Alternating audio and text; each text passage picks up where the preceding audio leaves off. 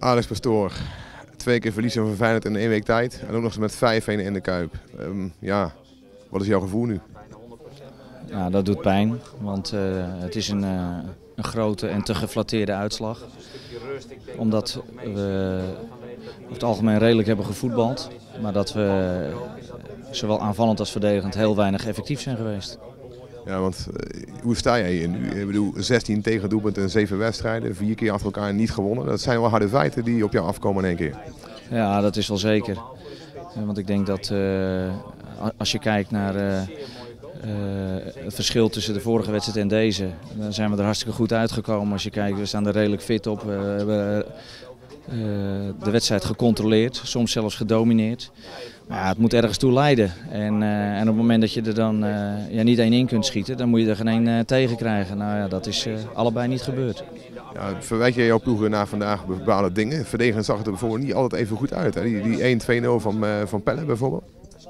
Nee, kijk, de, voor rust zijn we de bovenliggende partij. En we lopen tegen counters aan. En, en die zitten er ook meteen in. Dus je kan aan de ene kant zeggen, weet je, dat is ook de kwaliteit van Feyenoord. Maar weet je, ik hoef niks over Feyenoord te zeggen. Uh, de, de, de, restverdediging vind ik dat, dat beter moet staan. Het, het gewoon domweg hard achteruit lopen om schade te voorkomen, dat moet beter zijn. en als dat allemaal voor elkaar is, nou, dan kun je zeggen, oké, als dan zij, zij zoveel klassen tonen dat hij erin gaat, dan kan je er nog redelijk mee leven. En nu heb je dat minder. Ja, precies. Want NEC, wat heeft dat nodig, Alex? Je, je blijft natuurlijk kijken naar de voorhoede. Ik nog steeds weinig gecreëerd. Toch vandaag even naar die 3-1. Uh, misschien een momentje dat die 3-2 er even in hangt. Zag jij dat ook zo? Ja, want kijk, vlak na de rust krijgen we die, uh, die 3-0 tegen. Ja, dan uh, is je grootste hoop natuurlijk uh, de grond ingeboord. Maar we zijn daarna, hebben het voetbal weer opgepakt. we waren weer de bovenliggende partij. We scoren 3-1. En ook daarna hing de 3-2 in de lucht. Het publiek ging zich roeren. En uh, was ontevreden.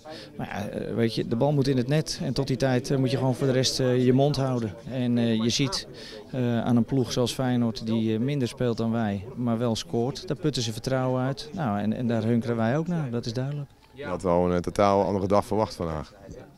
Ja. Hoe had je hem verwacht? Nou ja, je, je hoopt op, op een overwinning, op... op op in ieder geval het voetbal wat we getracht hebben te spelen. Maar uh, ja, je hoopt ook op, uh, op, op meer effectiviteit, waardoor je uh, in de competitie gaat groeien. Nou ja, dat gaat nu stroef. Hoe is het met Ivan de Snow, Alex?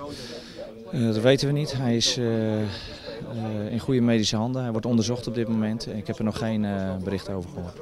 Maar hij is al naar het ziekenhuis in dit geval? Ja, hij is naar het ziekenhuis. Wat had hij precies? Hij ging zitten, las, ging naar zijn borst? Hij voelde zich niet lekker.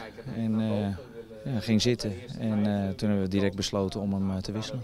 Ja, natuurlijk heel vervelend, hè? want het is natuurlijk wel een jongen die altijd zijn bal bij zich had, sterk in de duels heeft. Toen hij eruit ging, uh, zag je dat ook een beetje op het middenveld, dat je denkt van, eh, verdorie, zit er weer even niet bij?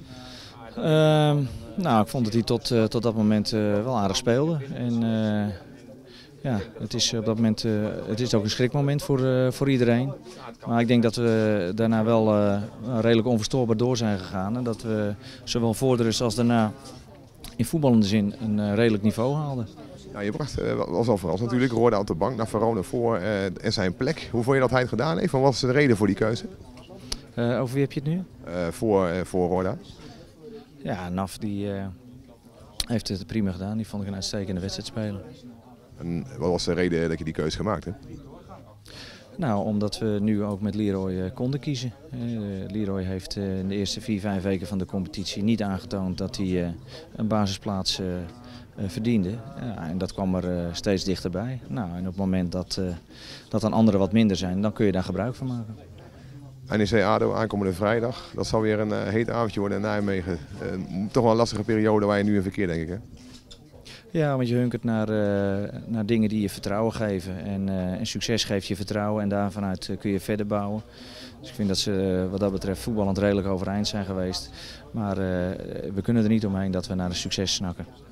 Een overwinning, het enige goede medicijn op dit moment? Ja. Laten we die vrijdag maar gewoon gaan behalen dan. Ja, dat is een goed idee.